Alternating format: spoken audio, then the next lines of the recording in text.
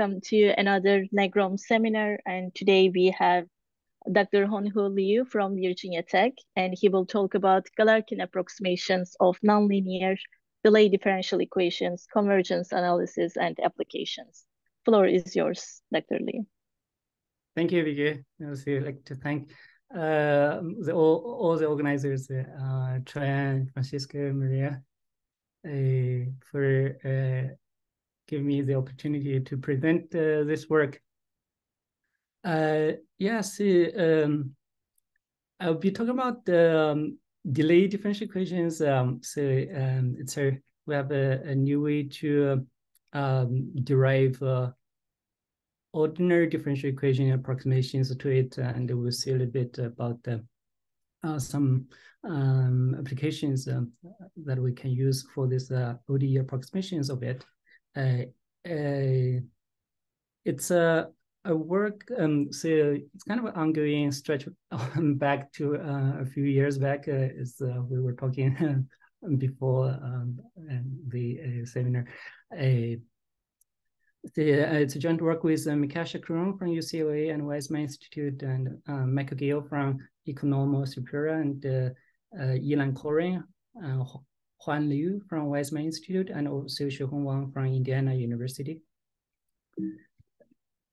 Um, so uh, when I first uh, uh, get exposed to uh, this topic, delay differential equations, it was when I was a, a, a postdoc at UCLA, and uh, honestly, I didn't know much about DDEs at the time. We learned a lot uh, about ODEs and PDEs, right? But for some reason, not too much about DDEs. So I, thought I'll, start with a short introduction of DDEs. Um, uh, then I will introduce uh, the approximation schemes. Uh, uh, it's based on our new type. Well, I should not say new. Uh, um, uh, um, a particular type of poly orthogonal polynomials. I will introduce the polynomials and also talk about the the um, a little bit about convergence analysis, then to illustrate on some numerical examples.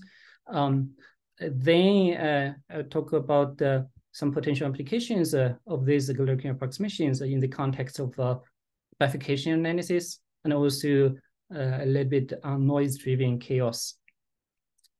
Um, so, oops, I'm sorry. I guess I clicked on the wrong, so it goes all the way back. So here we go, trans is another very fast uh, um, sliding back, so the um, introduction to DDEs. Uh, so there are many types of delay differential equations. Uh, I see um, the simplest, uh, or arguably the simplest is uh, the ones with the constant delays. So the right side uh, depends on the current state, but also on a couple of uh, previous states at some choosing uh, lagged time, tau one all the way to tau k. So these are um, positive uh, constant delays. Um, some examples, for instance, the Wright equation, also known as uh, the Hutchinson's equation from uh, mass biology, um, and also the Suarez-Schopf equation uh, coming from uh, atmospheric dynamics. So people were using that as a, a, a, a representation of um, modeling of uh, the El Nino uh, southern oscillation uh, then there's uh, the delay uh, with uh, distributed delay, meaning that uh, so involves, involves an integral uh, of the state uh, um, over some history segment. Um, like um, an example would be the model of uh, epidemics, where I is the infected population. If we don't include the term, the second term over here, it's just a logistic type of equation. Um, and when you look at the term over here, it's like the logistic term, but uh, involving an integral. It's like we consider uh, yeah, the infected um, populations over a history, uh, over interval from the history. Um, and also there are more exotic ones, uh, like the delay itself depend on the state um, X itself. And of course, there's also systems of DDEs and uh, neutral delay differential equations, meaning that um, the derivative of x itself involves delay in it and also delay partial differential equations. Right. So um, then what's so special about this D uh, DDEs? compared to, um, for instance, ordinary differential equations, is that delay differential equation, it's uh, actually infinitely dimensional when we think about it from a dynamic system point of view, because it requires a segment of the history uh, to initiate the um, system, right? Not just at one particular time instant. Um, so because that, even just a scalar delay differential equation, it can support complicated dynamics. Um, like this is in contrast to ordinary differential equations uh, for autonomous ODEs uh, we need dimension three or up, right, to get chaotic dynamics. Here, even a scalar DDE can support chaotic dynamics. And also the solution of the DDE is uh, it gets smoother as uh, the time increases um, except for the case of neutral delay differential equation. Uh, that so there's a simple argument uh, uh, why that is the case when we, for instance, the equation like that, right? So uh, if you're interested, maybe you can just look at this and think a little bit, right? So um, why that is the case. Um, but it's a simple argument. Um, also, the eigenvectors for DDEs of linear part right, may not span the whole space. Right? So if we are uh, looking at uh, decomposition of the phase space, right, um, uh, there are cases when the eigenvectors, they may not span. Also, the characteristic equation of the DDEs uh, of the eigenvalue problems, it's transcendental rather than algebraic. For instance, just look at the Wright equation, right? If we take out the linear part, so uh, the linear part is just uh, negative x t, minus tau, right? So then the eigenvalue problem becomes this, if we use the ansatz as an exponential like that, um, plugging over there, we get a transcendental equation like this for the eigenvalue beta. Of course, of course, all these are classical, and here's a very nice um, uh, textbook by Jack Taylor. Um, so that talk about um, these aspects and even more. So uh, that's just a very uh, basic uh, short intro about the DDEs. Then um, for us, we will recast the um, DDE into an abstract form, right? Of course, that's also considered in the um, literature. So there are two approaches. One uh, approach is we um, working with the continuous function space. Um, so that was uh, the textbook dealing with that uh, approach. Um, because we're talking about approximations um, to use uh, Hilbert space is more appropriate. So we will follow um, the approach, for instance, uh, um, using L2 function space. Um, so this approach has also been um, around for a long while. Um, one reference is a couple. Um, just to fix ideas. Uh, um, I will illustrate the approach um, the scalability of this form so uh, involves some discrete delays and uh, uh, distributed delay for the linear part, then the nonlinearity. Uh, it allows distributed delays as well.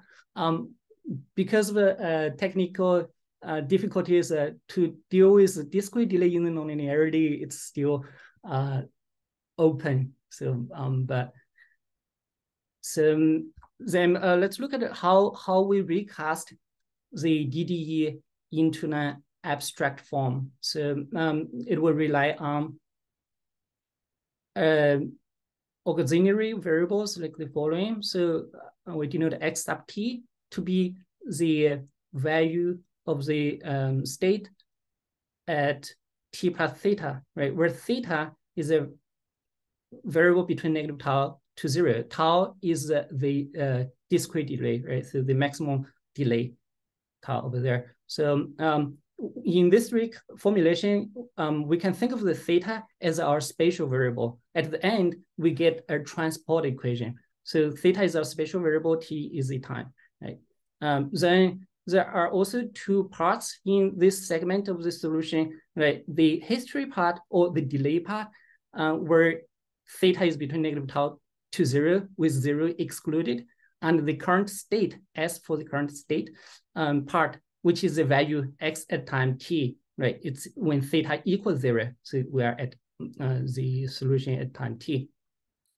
Uh, with these two new variables, ud and us, we can reformulate the uh, scalar DDE as the following transport equation. First, the equation for the delay part, it's just a partial u over partial t equals partial u over partial theta, right? Because uh, when you look at the formulation, the t and theta, uh, it they play essentially the same role, right? Because x sub t is xt plus theta. So t and theta, when you differentiate of them, so they're the same. And we have plus over here is the uh, derivative from the right-hand side because the theta is kept right at negative tau. So we differentiate from the right. Um, so the following current is for the equation for the US because the US equals xt, right? Then it's is uh, it's exactly the same equation as the DDE, but uh, rewritten in the new variable US and UD.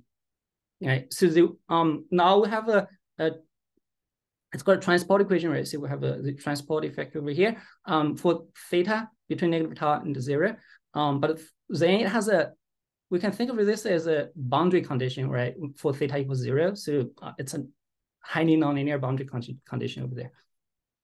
Uh, just a picture to uh, illustrate uh, what's going on over there. For instance, this is a trajectory of uh, the DDE solution, right? So we look at the length negative tau to zero. That's the history. Um, we uh, mapped into the state um, of the functions where it's defined for negative tau to zero. All the functions are defined. Um, that's a state space, right? Consider the function defined on the negative tau to zero. As time evolves, this initial data is going to move, right, um, within this functions um, uh, space.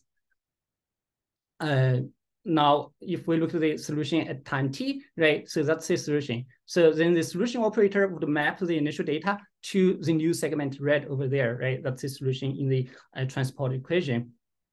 Um, so everything now is restricted from negative tau to zero as our spatial variable, right? If we introduce uh, uh, the um, variable u to be the history part and the current state, then uh, the previous system that I wrote over here can be rewritten in the following abstract ODE.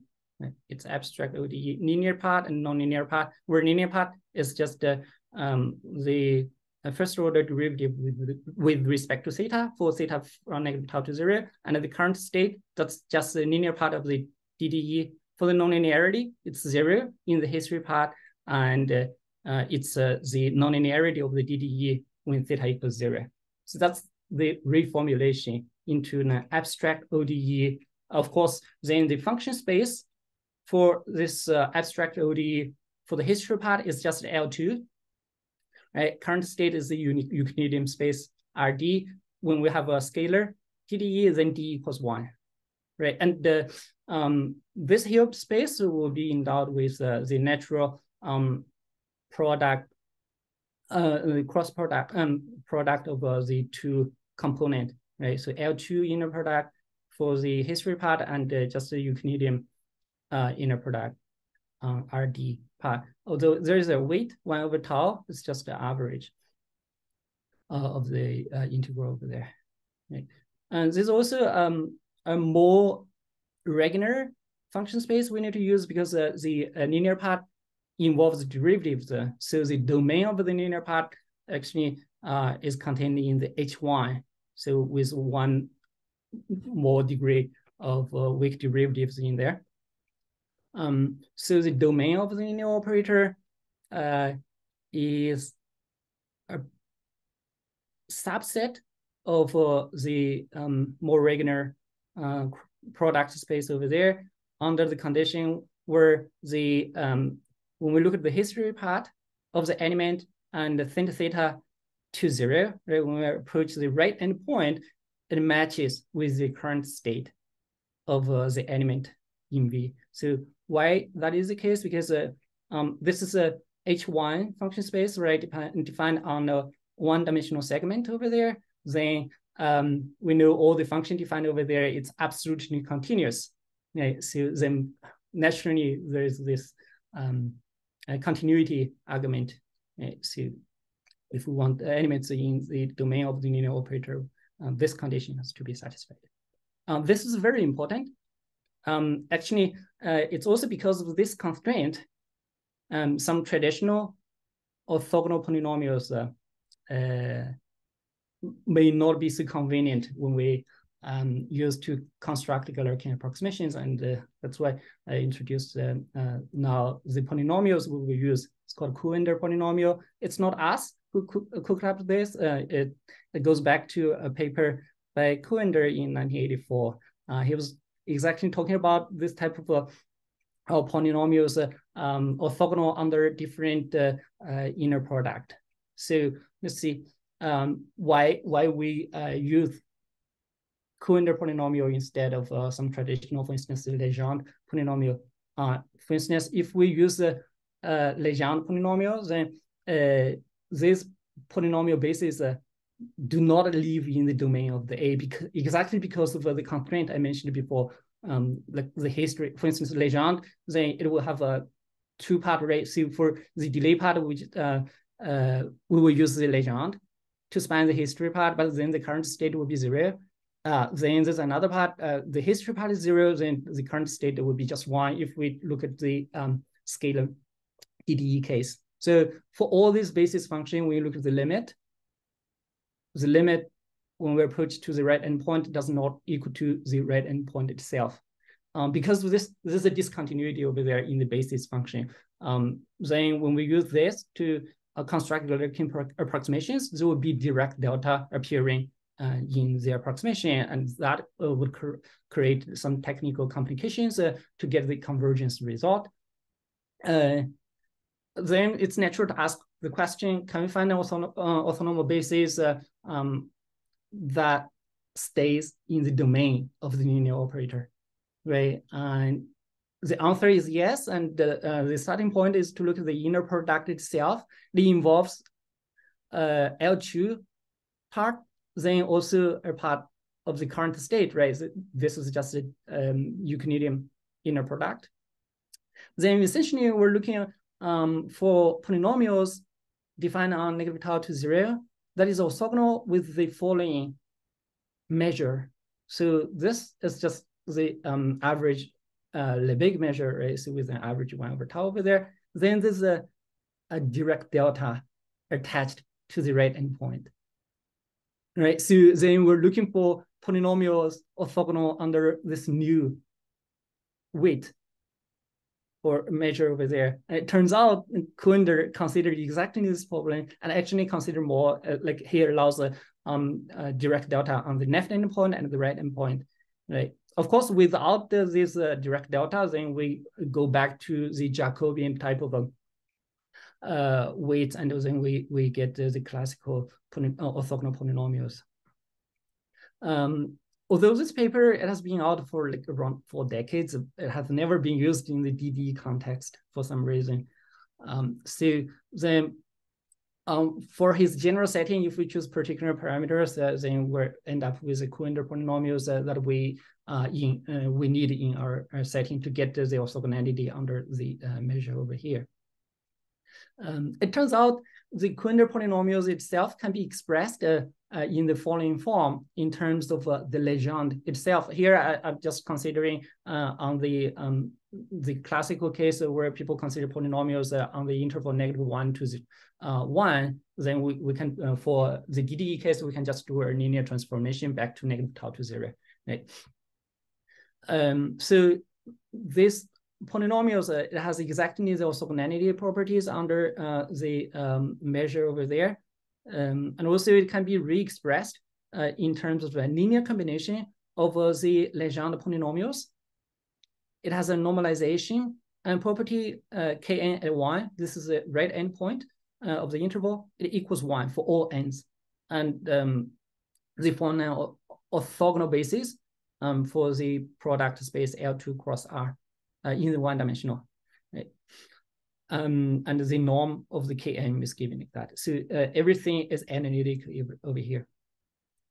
Um, to prove it, uh, we just need to uh, use um, classical properties of the Legendre polynomials. So nothing uh, deep over there. So it's, uh, it's really just the new way of looking for orthogonal polynomials under new um, inner product. Um, that is useful for our perspective. And as, as I said, we can rescale the um, Koornwinder polynomials on, onto the interval negative tau to zero. Uh, and and uh, so for the rescaled and also the original one, right? Oops, sorry. Um, the um, satisfy some interesting um, properties uh, that will be used in uh, getting the convergence results uh, for the corresponding Galerkin approximations. Uh, so for instance, uh, when we sum up all these bases, right, um, normalized divided by the norm squared over the um, basis functions themselves. when we look at the, at the theta equals zero, that's the right endpoint, right? Um, they sum up to one, this basis function. But when we look at the normalized uh, basis function summation over the um, uh, history interval negative tau to zero, they sum up to zero in the L2 sense. So on the right endpoint, they sum up to one, but uh, over the uh, interval sum up to zero. Uh, if we look at the um, projection of a given L2 function, right, along um, all these basis function, uh, when we look at uh, the summation, again, um, this, uh, this time, it sum up to zero at the right endpoint, uh, but they sum up back to the original function over the interval, right? So it's kind of a duality uh, over here. Um, and of course, the proof is uh, quite straightforward. Um, just make use of a pick up any function psi in the um, product space, right? So L2 cross R um, because uh, the basis, uh, the K and tau, this form uh, orthogonal basis, then we have the expansion giving the original elements of psi has an expansion like that, right? Then we pick up a particular element. When the history is zero, the current state is one. I'm plugging over there, we can get the first two identities over there. If we pick up psi equals f0, where f is an L2 function, then we get the third and the fourth elements over there. Um, this lemma um, turns out to be the key to get convergence uh, um, uh, of the Galerkin formula, and uh, I will mention a little bit more later on.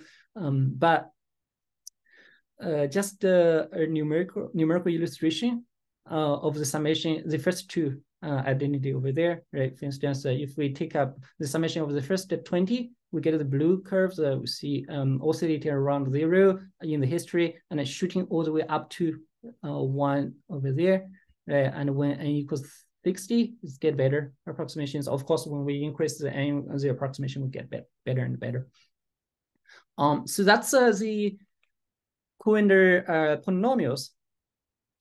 Now um, we use that to um, build up Galerkin approximations uh, um, and to analyze uh, the corresponding convergence. It turns out there's a, a general result we can state um, it, it's independent of uh, the uh, Galerkin approximations of uh, the DDEs. So uh, just uh, prepare a little bit.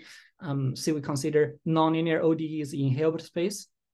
Right, we have a linear part and nonlinear part where U lives in some uh, given Hilbert space. It could be finite dimensional, then we end up with a uh, finite dimensional ODE. If it's infinite dimensional, for instance, the recasted um, uh, DDE will be of this form, right? With X to be the cross product we picked up um, before. And uh, we assume uh, the linear part generates a C0 semigroup. Uh, well, um, since I don't have time to uh, go through what is a C0 semigroup, we can think of a, for instance, um, just uh, if it's in the ODE case, right, then uh, the L will be a matrix. It would gen the corresponding solution for the linear part it would be e to the at? Um, the solution operator. Um, that is a a C0 semigroup, and actually it's stronger than C0 semigroup. Um, um, but uh, in the infinite dimensional case, for instance, you take uh, the heat equation, it will generate a, a C0 semigroup over there for the solution operator. And uh, um, for C0 semigroup, uh, um, which we denote e to the lt, right? The norm satisfy a uh, natural um, bounds m times e to the omega t. Um, for instance, in the uh, the matrix case, uh, um, the omega would we can pick up any value that is bigger than the largest eigenvalue of the L, then this um, inequality will be satisfied, right? And then we're seeing we have a sequence of subspaces of X? Um, and uh, the size of this uh, um, subspaces increases uh, to infinity, and we have the following identity to hold, where pi n is a projection onto the subspaces, right? When we increase n, it converges to x, the identity matrix um, itself, pointwise for all x, right? So um, it just says that the uh, subspace will span the whole sub uh, the whole space X when we increase n to infinity. And then we uh, we can project the original problem onto these subspaces uh, to get the Galerkin approximations, uh, where un will be just as a projection of the u onto the xn. Right, so uh, we end up with ODE finite dimensional ODE systems, and the question is uh, um, how to get the convergence of the un to you. Right? And the theorem, the following theorem says the following. Um, so if we have the following three uh, assumptions, then we will have a convergence. The first assumption is like the uh, linear flow associated with the semigroup associated with the Galerkin approximation, right? Um, also satisfy the uniform bond that I showed before, where the L itself has this bond, right? So we assume the Galerkin approximations has the same bound with the same m and the same omega for all n. Uh, and also uh, the linear operator for the Galerkin converges to the linear operator of uh, the original problem pointwisely in the following sense. And assume the nonlinearity is globally Lipschitz.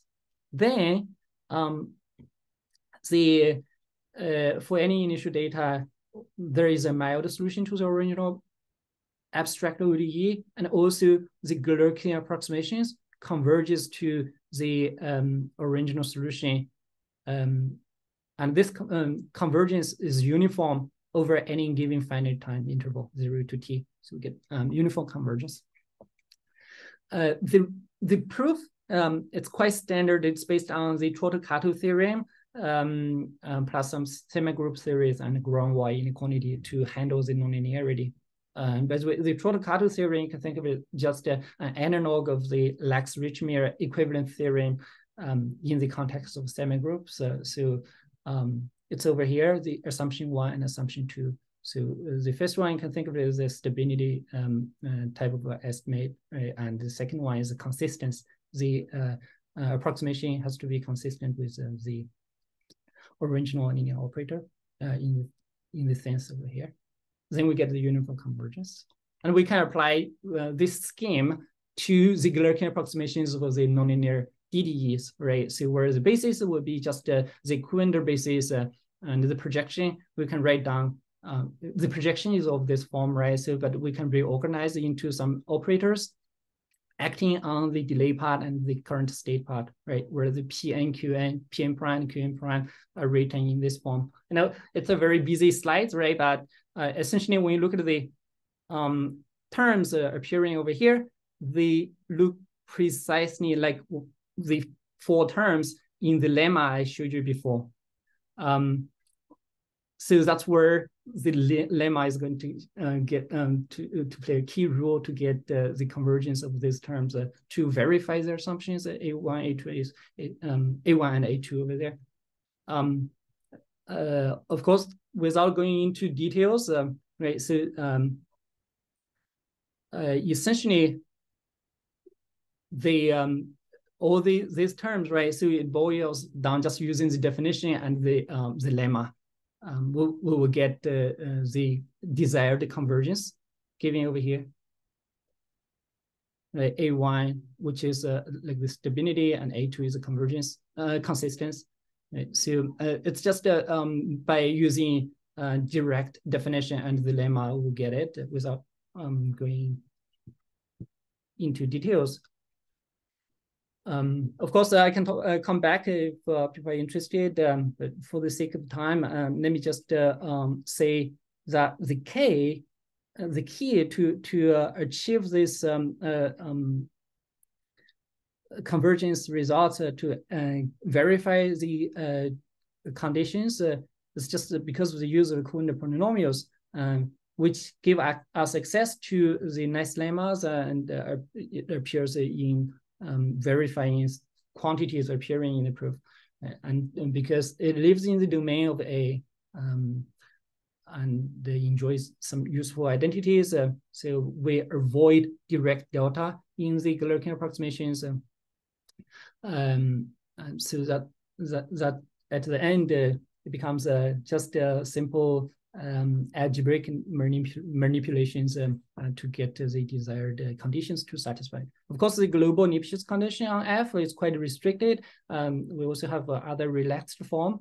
Um, so, for instance, uh, uh, assume if F is locally Lipschitz, um, and additionally, if it, sat it satisfies an energy inequality of this form, then we can still apply the result uh, to get the convergence.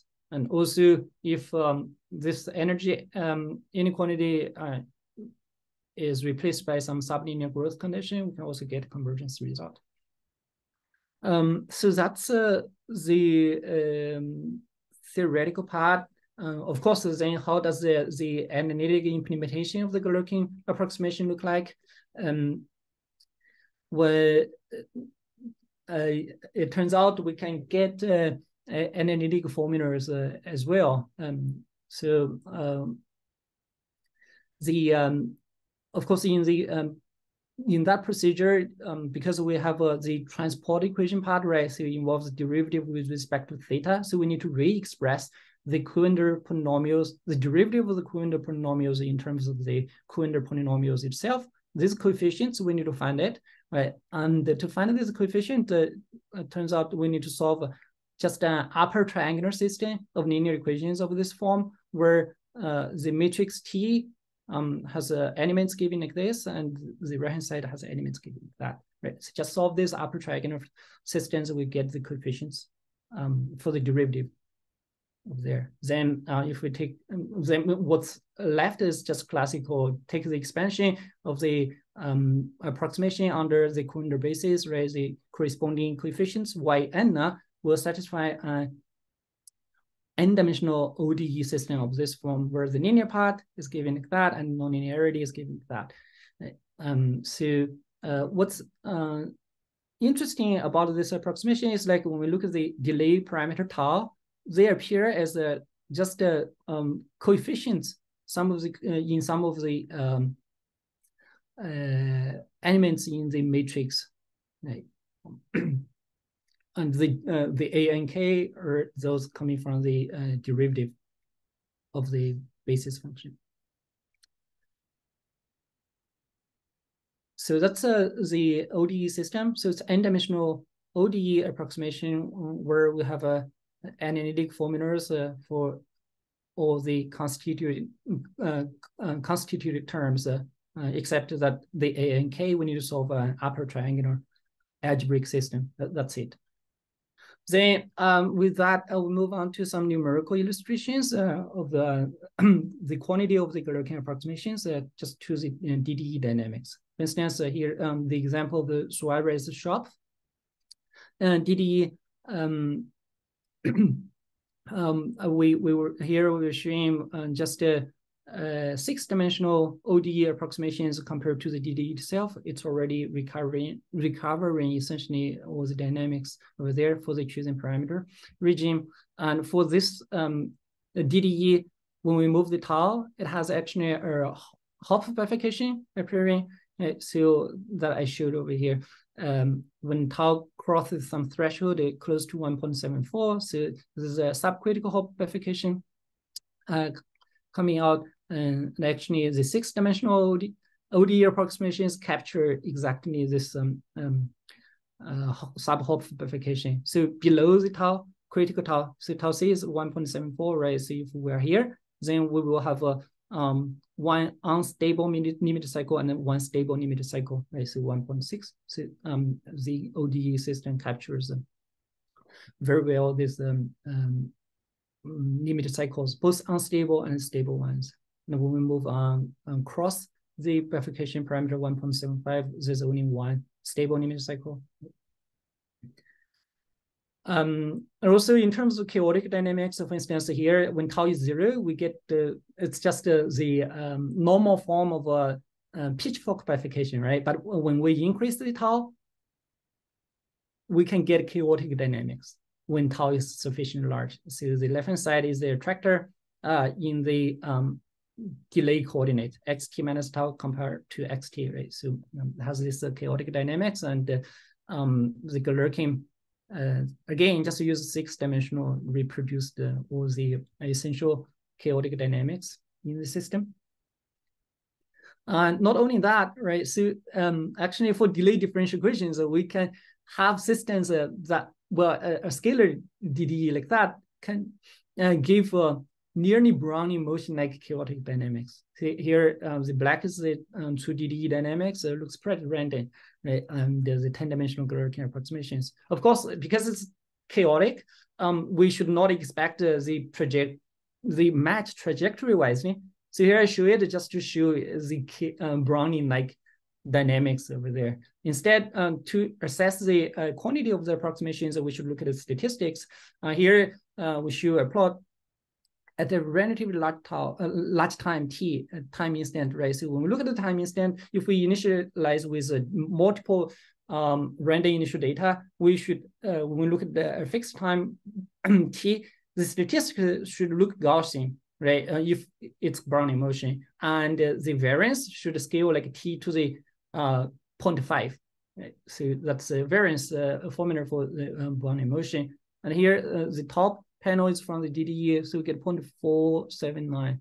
Right? So, um, not not too too far from 0.5, right? So it's close to um, Brownian motion type of a uh, uh, scanning that we would expect. And for the uh, Galerkin approximations, uh, we get 0.48, so pretty close. Um, of course, uh, so these are just uh, some proof of concept, right? Because we already get the convergence uh, uh results, then it's expected that we we um, when the dimension of the Galerkin is high enough, we should have uh, this type of uh, appro approximation quantity. Right. Then what can we do with these ODE systems?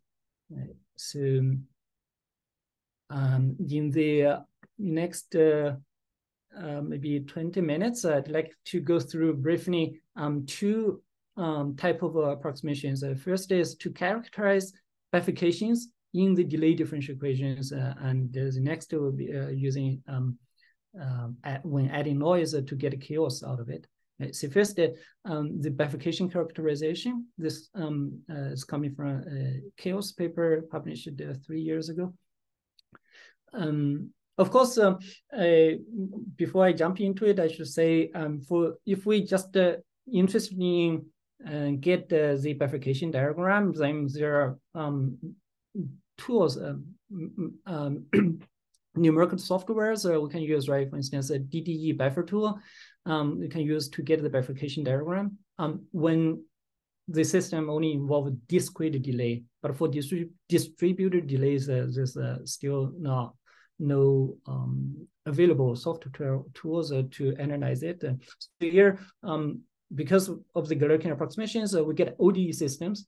So we can use the standard uh, uh ODE verification tools to analyze it. And also we have analytic formulas of the system. Um, so and the characterization will be just the, you know, following the classical bifurcation um, presentation for ODE systems, since now we, we're in this setting of uh, um, ODEs for the Galerkin Koornwinder approximations. Um, for Hopf bifurcation, for instance, uh, assume um, the system has a, a scalar parameter uh, and the system has a C1 smoothness dependence. Uh, for the problem over here, we can think of lambda is our delay parameter tau. Um, and there's a critical value lambda c where the eigenvalue for the linear part, um, so the first pair crosses uh, the imaginary uh, axis, right? So it's um, the first pair sits right on the imaginary axis, uh, while the remaining eigenvalues uh, stay on the left half plane. Uh, and also when we further increase tau or, or decrease tau rates, depending on which direction the bifurcation happens, the uh, first pair has to cross the imaginary axis, meaning that the derivative with respect to lambda is not zero. Um, so that's uh, the standard setup uh, for Hopf bifurcation. Here's a picture of it. so this is the first pair uh, as tau uh, increases, right? So this is um, the vertical line marks the critical um, parameter. So before the critical parameter, the first pair, the real part is negative, and after it becomes positive, right? So there's a critical crossing, and all the other eigen um, values stay on the left half plane, right? Although when uh, the parameter increases, uh, the second pair, right, so it moves uh, closer to, um, but there is always a gap uh, in between the first pair and the remaining eigen um, pairs. Um, the um, assumption on the nonlinearity, assume if we take a Taylor expansion, right, so it has a second order term, third order, and the higher order terms. Um, and also, there are some technical assumptions uh, uh, regarding uh, the eigenvalues. Um, these are also classical, um, right? Uh, so when the corresponding nonlinear interactions of the eigen um, vectors going through the second order polynomial, um, uh, second order uh, Taylor approximations, uh, if the corresponding uh, interaction is not zero, then the corresponding eigen values, the combination of that should not be zero. Essentially, the, um, um, without going into details, uh, uh, this type of assumptions uh, uh, ensure that we are not dividing by zero when we um, um derive the corresponding normal form approximations of bifurcation. If these assumptions are satisfied, then the original n-dimensional Galerkin system can be reduced to just uh, um, the following normal form. It's called Stuart-Landau normal form. It's just a, a one-dimensional ODE where the state variable z, of course, is complex valued. If we think about a real valued, then it's two-dimensional, right? Real part and imaginary part. Um, so it's two-dimensional um, uh, central manifold reduced system like that.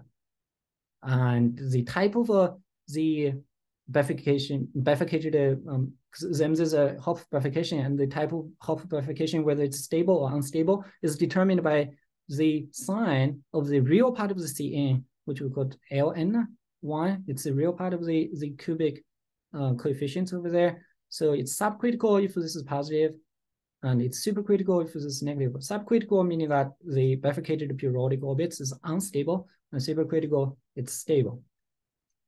Right. So um, there's a reduction procedure going on, right? So behind the assumptions, uh, um, once we reduce it, uh, we get uh, um, the um, two-dimensional system in real um, variables, right? So that ca captures fully the dynamic behavior. And these coefficients, of course, uh, the Cn becomes crucial, right? Because the, the sign of the, its real part determines the type of bifurcation.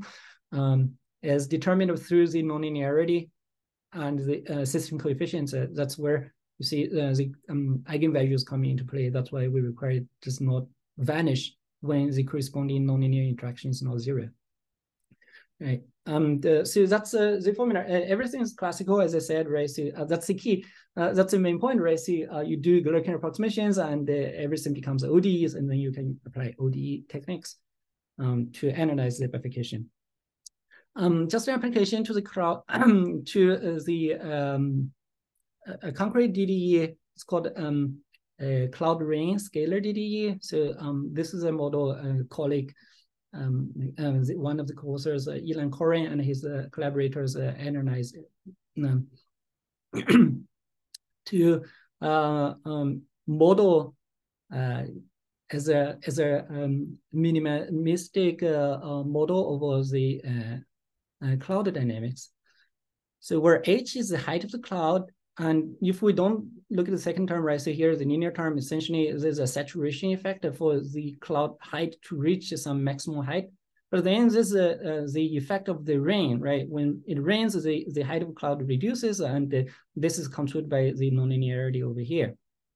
And there's a delay involved, uh, so um, to um, take into account some microphysics uh, processes uh, if we normalize it, uh, so we get the following uh, non-dimensionalized system. So with the parameters, where tau is a delay, and if we move the tau, of course, uh, then there's a for the system. So there's a um, steady state, right? Physical steady state, which is positive, uh, given like that.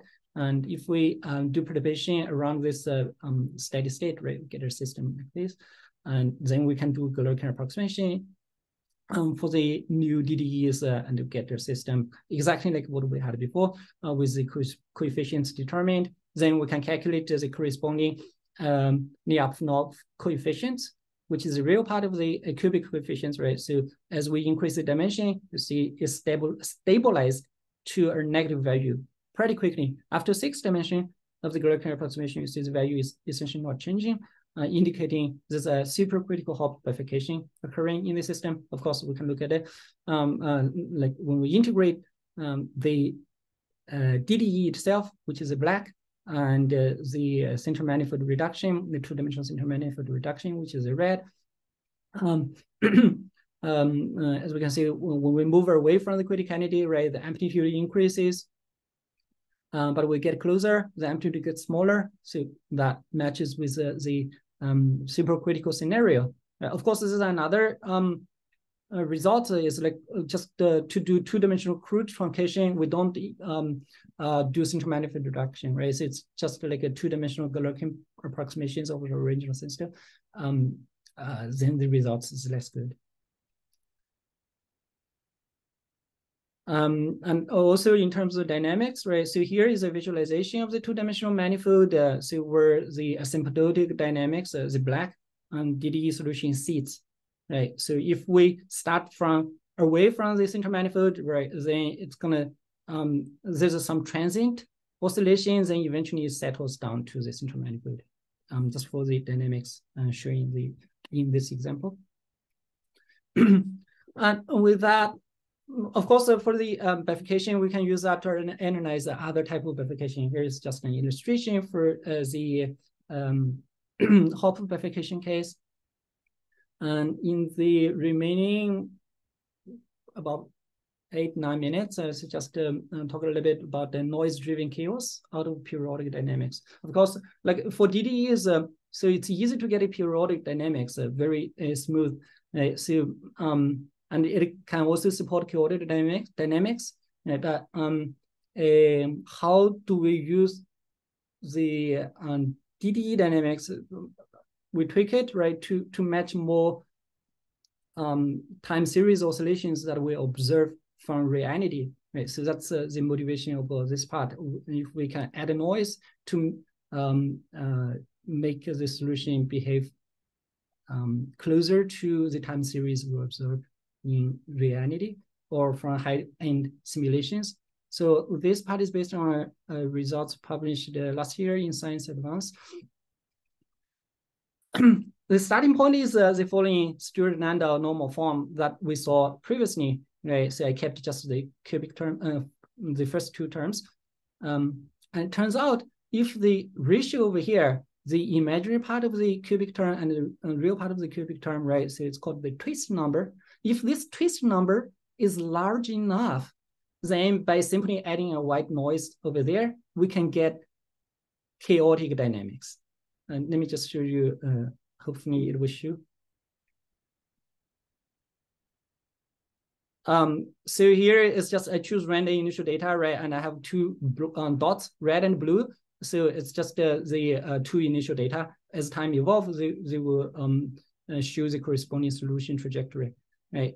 So you see quickly um, after the uh, initialization, so we see a chaotic uh, attractor emerging, um, and you will always see this uh, uh, stretch and twist and bending effects over there, right? It's um, in the literature, it's called a shear reduced, shear induced chaos. Um, and here we have uh, the two uh, trajectories. Initially, they stay close to each other, right? Eventually, they deviate. Um, um, just to show the dynamics uh, uh is chaotic in the time um, then uh, time series level, and that's uh, the attractor at as time evolves. By just adding a noise with sufficiently large um, noise strength, right, we can get chaos out of pure. If we turn off the noise over here, it's just periodic dynamics, right?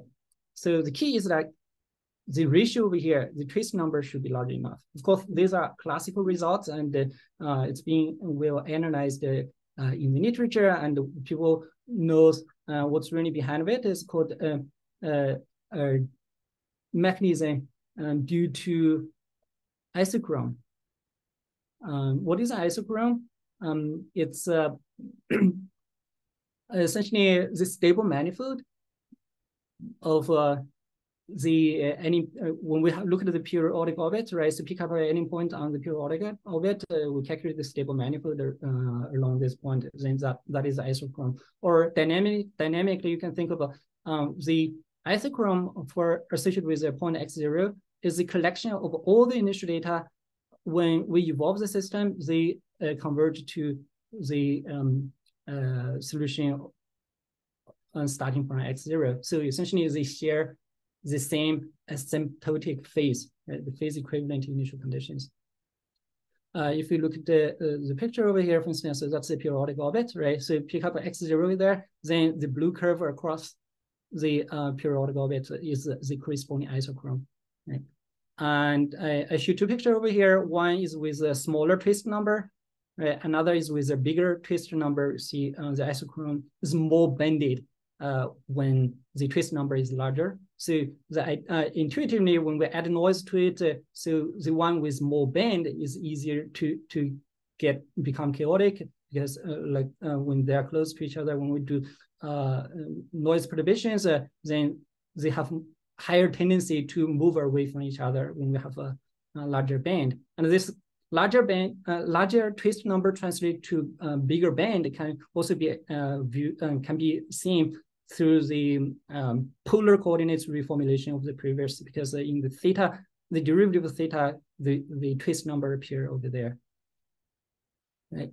And then how how do we uh, design uh, noise to enhance twist when the twist uh, enhance chaos when the twist is not enough, large enough, right? So that's the case. We need uh, to introduce uh, exactly some effects um, in the cubic term to increase periodic um, like um, randomly this twist number. If we add a term to the equation like this with the cubic, right, with the imaginary part, remember in the twist number, the imaginary part appear in the top, right? So if we could uh, introduce a d positive right over there and uh, where f, for instance, it could be just a, a random kick like that, uh, taking value zero and one, right? So we randomly increase the, the twist and add white noise uh, also to there, then we can get um, chaos out of it for any normal form, right? No, regardless of the previous uh, twist number in the original system, because we can choose the D large enough, then we always get chaos out of it. Um, that's at the normal form level, right? But then if we take that normal form and go back to the original uh, delay differential equation in the transport equation form, the noise we add at the normal form level actually translate into a noise of this form at the transport equation level, where it has a state dependent part coming from here, right? The Z, we can think of the projection of uh, the true solution onto the first eigen uh, vector, right? So you, um, that's where the uh, inner product of the U with the first eigenvector comes in, and plus the complex conjugate. And the um, boundary condition, the nonlinear boundary condition stays the same as the DDE. So the noise is added to that, right? Of course, um, uh, if we work directly at the DDE level, um, we can never imagine like um, this type of noise added to it. So by analyzing the reduced equation, um, it motivates us to look at this. And of course, uh, then if we add the noise, um, this is the dynamics at the DDE level, we get exactly the same type of a uh, stretch and bend like we see before in the normal form level, right? So just speed up it. You see um, the stretch and the full dynamics appearing. Right. Let me stop that. So um, that's the chaos we get out of the, um, if we turn off the noise, we just get uh, periodic dynamics. And of course, um, uh, then why it's important, right, to get this uh, state dependent part, uh, as we know, I explained, right, so this is there to enhance the twist number. What if we don't get the, um, uh, say we remove this state dependence, we just uh, right? The state dependence comes in from this inner product. If we don't have this, just multiply with the phi one, where phi one is the first eigenvector. Um, then we get the key, we still get chaos, but the chaos look like this. There's no stretching bending effects anymore. It looks more like a diffusive effect, where if we put a um, like a red um, marker uh, in some region, right? We look at the evolution of the red uh, points becomes a very diffusive um, as at a later time.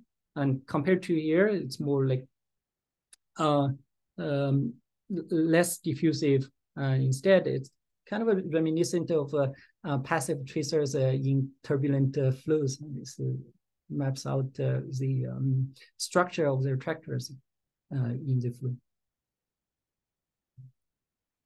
Um, then, of course, all these are just based on dynamic interpretations and motivations. so what's the potential link to applications? And here's just one um, uh, example. So here, um, the um, black curve over here is from um, large dimensional um, simulation of uh, the uh, cloud model. So using large eddy simulations, uh, so we get the um, corresponding vertical velocity of the uh, cloud dynamics from the back uh, and black.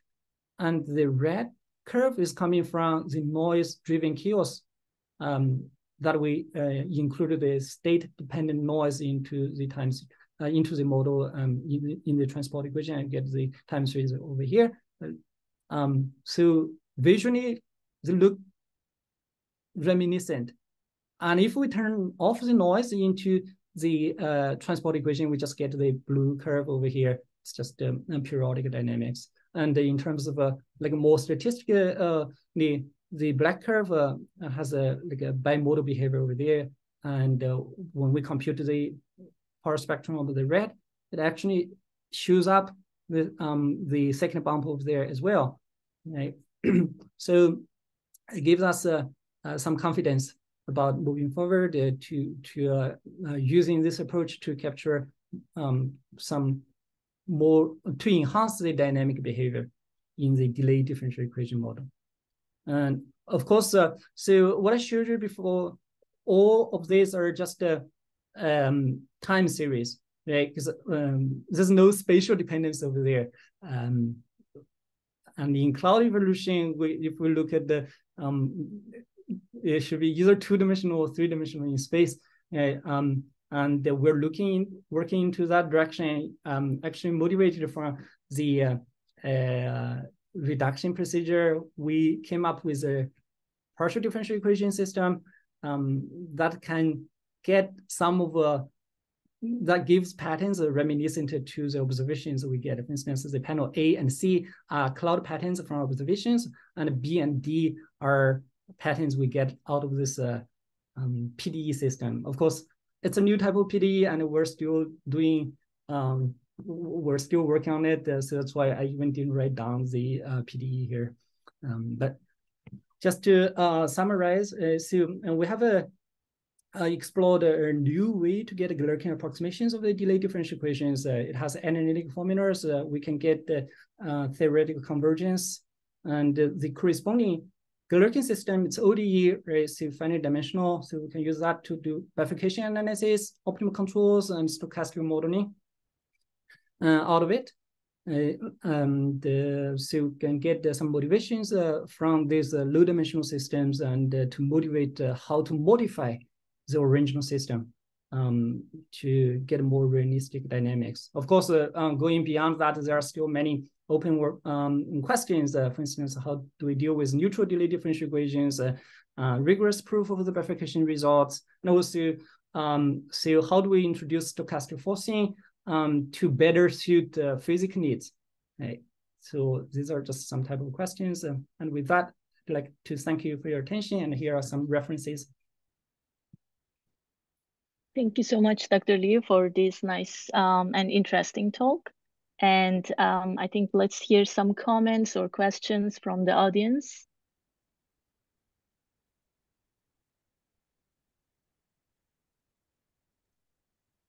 If maybe I, I can start. There's no yeah. one. this was uh, thank you Honghu. This was very nice, very clear. I, I as always, I'm, I'm learning a lot from from your talks. It's always something new with you. So um, so let, let me just so maybe can we can you I have I have several questions, but maybe I can ask a simple one, uh, clarifying. So can you if you go back one slide, maybe when you like summarize the uh so like just yeah no no no no yeah so the second to last um um, bullet. You say how to rigorously prove the bifurcation results from high dimensional. Um, you said the spectral pollution issues. So what issues? What do you mean by that? So like, can you uh, like? Yes, yes, yeah, yeah. So uh, of course, uh, like uh, when we look at the the heat equation, for instance, uh, look at the uh, um, spectral uh, Galerkin approximation of the heat equation, right? So we see the eigenvalues uh, converging nicely to the eigenvalues uh, of uh, the Laplace operator, right? As we increase the dimension, this is no less, no more, right? So n-dimensional approximately the first n eigenvalues of uh, the Laplace operator, right? But here for the delay differential equations, uh, it, it's different. And in general, actually, for general operators, uh, one should also expect, one should not expect. So, for instance, we have n-dimensional Galerkin approximation, look at the linear part, right? Consider the eigenvalue problem. Then we get n eigenvalues out. And these n eigenvalues, uh, they may, not all of them are approximating the eigenvalues of the original linear operator. So there are some spurious ones. That's what we call uh, spectral pollution. Uh, so there, there are uh, eigenvalues uh, in the Galerkin system that has nothing to do with the eigenvalues in the original system. It's very interesting, and actually, says there uh, uh, there are uh, um, quite a lot of uh, investigations, and actually, there are textbook uh, talking about the the spectrum pollution issues uh, um, for different type of operators. Um, so, and it turns out to be the case here for the Koornwinder polynomial approximations of the DDEs. we do see uh, spurious uh, um, eigenvalues coming out. Um, so that complicates. Uh, of course, uh, when we increase dimension, these spurious eigenvalues uh, they tend to um, be pushed away from the uh -huh. real uh, um, axis, right? So meaning that the frequency gets higher and higher. Um, so, but um, how to handle these uh, spurious um, eigenvectors turns out to be not so difficult. At least we don't see how to do it uh, for the verification analysis. Of course, uh, uh, because the Galerkin system, the convergence I showed you before, for the uh, convergence of the solution, uh, we don't deal with uh, this issue, right? There's no eigenvalue decomposition over there, so there's no issue in that perspective. It's more like when we consider verification results. Gotcha. Um, yeah. Gotcha. Yeah. Okay. Okay. Thank you. No, that's a good question. Um, I would like to ask one. Maybe it will be so simple. Uh, but could you just uh, do a little bit more, more comment about choosing the del delay uh, parameter? Because um, in one slide, you just show for the different delay parameter how the, the figures getting different. And do we need to look at the bifur uh, bifurcation? This is yes, the uh, point. for instance, over here. So here is just, uh, this is already past the bifurcation. Let me show you maybe one slide. Um,